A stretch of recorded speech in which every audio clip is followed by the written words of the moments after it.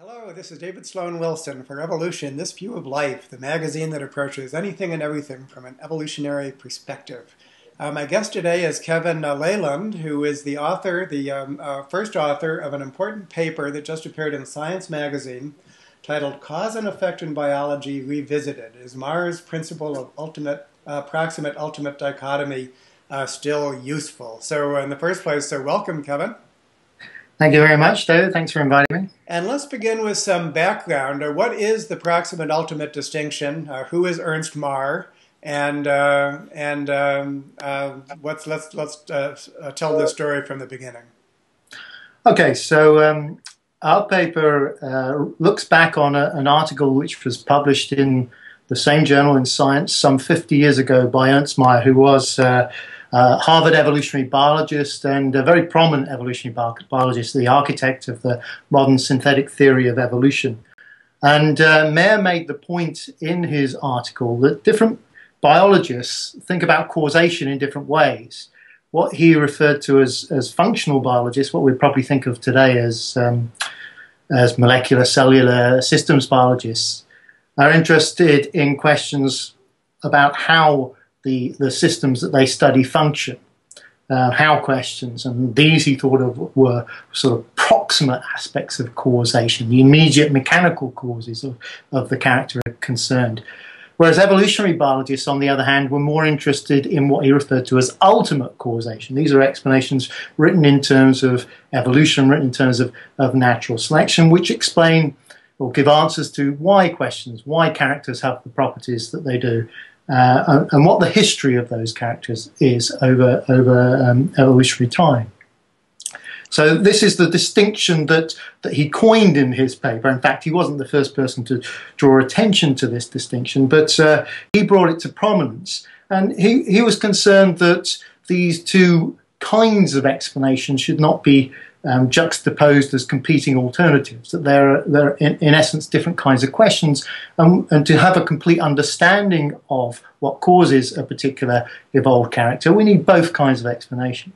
Right, and right away I want to get another important paper on the table, and that is the uh, uh, Methods and Aims of Ethology by Nico Tinbergen, and he asked four questions. So could you uh, uh, add the other two questions that Tinbergen uh, added. Uh, we could get that uh, on the table from the beginning. Yeah, so um, this this is a paper that follows on a couple of years after Ernst Mayr's, and uh, and I personally view it as an advance on Mayr's formulation. Uh, and one reason why I think that's the case is that Mayr, in a way, talks about ultimate causation, and uh, wrapped up in that are two separate things. You've got uh, explanations of function, why the character functions in the way it does, what it's designed to do, if you like, design features, but also you've got wrapped up in that the evolutionary history of the character. Right. And Tinbergen separates those two things out. He says we need a separate explanation for the evolutionary history and for, for the function. He also draws attention to the mechanical causation, um, which is equivalent to Mayr's proximate causation, and to development. Right. Uh, and he says we also want to understand the development of the character. So, from Tinbergen's perspective, if we want to understand a character, we need to give com- a complete understanding, require uh, answers to all four of those issues. Right. And, you know, I read your paper and uh, I think about these things a lot myself. And one thing I notice is complete confusion and disagreement about what people call evolutionary so uh, I think Mayr called the ultimate causation evolutionary, not proximate causation. I believe Tinbergen uh, restricted evolution to the phylogeny component or something. For me, for me, evolution is all four questions. But do you, do you, is it also your assessment that like there's no agreement amongst our own colleagues as to um, the use of terms, even terms such as functional? The fact that Mayr used functional for proximate, I think most people use the word functional for ultimate nowadays. So so it's it's odd that these could be our central concepts, and there could be such looseness about about what's called evolutionary. Is that your also your experience? Yeah, no, I, I think that's absolutely right. So. Um, it is it does seem really peculiar now for us to refer to uh, molecular cellular biologists as functional biologists. Uh, we're used to thinking of behavioral ecologists and evolutionary biologists as studying the function of, of particular characteristics, which, which in a sense equates to the design features that we all seek to understand when we take an evolutionary perspective. And yes, I, I, I agree that there are ambiguities with, with regard to what we think of when we use the term evolution. And there are those who would like to restrict that term to biological evolution, but many of us, I think, were agreed uh, uh, uh, on this point that we're comfortable using the term cultural evolution, talking about uh, um, ideas as, as evolving rather than um, biological entities. But then you're, you're, you're looking for a much broader conception of what evolution is. So, yes, we run up against these, these uh, linguistic problems. Okay, so uh, what's wrong with the proximate ultimate distinction? That's the main topic of your paper. What's wrong with it? Well, uh, it depends on what you think of the proximate ultimate um, distinction to be. So um, there is this this primary um, facet of the of the of the proximate ultimate causation. We, we we want to make a distinction between uh, an evolutionary kind of account, a historical kind of account of cause, and the immediate um, proximate causes. And and I, I think that's widely recognised and fairly uncontentious. But the issue is that when, Bear, when Mayr introduced this and brought it to prominence, he, if you like, brought in with it a certain amount of conceptual baggage. There are certain ways of thinking that became associated with it, which he presented, if you like, as following logically from it, but in, in my view, in which um, a view which is shared by my co-authors, we don't really feel is a necessary component of it. And those are things like um, he made the argument since um, proximate and ultimate uh, causation are essentially addressing different questions, then in essence, one doesn't need to know about ontogeny or developmental processes in order to address evolutionary questions. And that's a contentious statement. That's, that's a statement that many uh, developmental biologists and many uh, evolutionary devo- developmental biologists would, would take issue with today. Um, so and, then, and, then, just historically, that did lead to the marginalization of development in evolutionary right. thought. Something which, something which has only been remedied since the advent of Evo Devo, uh, a term which was coined, I believe, in the, as late as the 1980s or 1990s, just to. Absolutely, but but but there's a sense in which um, this is not yet a complete remedy. And, and there are many, many people on the developmental side of, of evolutionary biology who are not yet satisfied that we have a complete synthesis that gives a full account of the evolutionary picture. Um, for instance, there are, there are those who argue that, that um, neo Darwinism lacks uh, an adequate account of the origin of the variants that are subject to selection and view developmental processes as, as very important in shaping those variants that, that are uh, available for natural selection and imposing biases on which variants will uh, arise, uh, and, and, therefore as a process that needs to be recognized as playing some role in evolution. But Mayr's separation of um, proximate and ultimate led to a separation of development from evolution. And so it is viewed by many Evo Devo advocates as a barrier to this, this new synthesis that they seek. Right. So, uh, so an important part of your paper is that you call attention to uh, reciprocal processes in evolution, uh, such things as sexual selection, uh, niche construction, whereby um, uh, organisms influence the subsequent evolution of of the of the of the trade. And maybe you could say a little bit about some of these reciprocal processes and and what they uh, what their implications are in terms of the proximate ultimate distinction or Tinbergen's four questions. Yeah, so another kind of corollary that comes in with with Mayr's uh, proximate ultimate distinction is he had a very what you might think of as linear or unidirectional view of the evolutionary process. So the example he used, just to make this a little bit more concrete, is avian migration. Um, so we can ask, well, what causes a bird to migrate at a certain time in the seasons? Um, and um, so he, he of course, points out you can give an approximate explanation in terms of physiological changes inside the bird or, or changes in, in day length or, or um, t- uh, external temperature. These are the proximate causes. But you can also give an explanation in terms of um, the availability of distributions of resource and, and the selective advantages of moving to take advantage of those, uh, which of course would be the ultimate explanation. But from Mayr's perspective, the ultimate explanation started in the environment. So um, we could, if we were interested in tracing back causal influences, go further and say, okay, well, if the seasons explain why birds engage in this migratory behavior, what was it that caused the seasons?